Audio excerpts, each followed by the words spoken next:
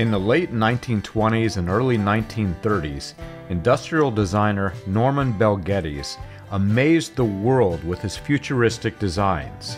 Many of his City of Tomorrow and Automobile of Tomorrow and Home of Tomorrow designs became the talking point for newspapers, magazines, radio programs, and films.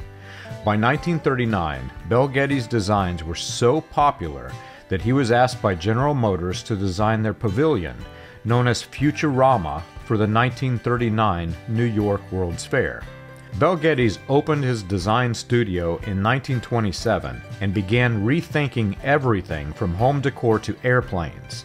His 1932 book Horizons had such an impact that it became jokingly nicknamed a book of prophecy.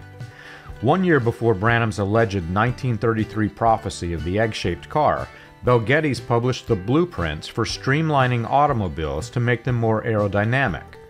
Some of his ideas were on display as prototypes at the 1933 Chicago World's Fair that William Branham himself attended.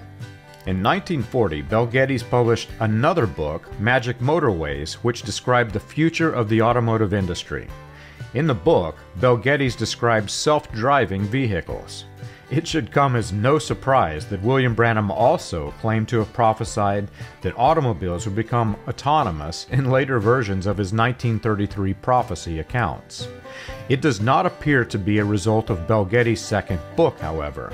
The timeline of William Branham's introducing self driving cars is more closely aligned with the Central Power and Light Company's advertisements of the car of the future.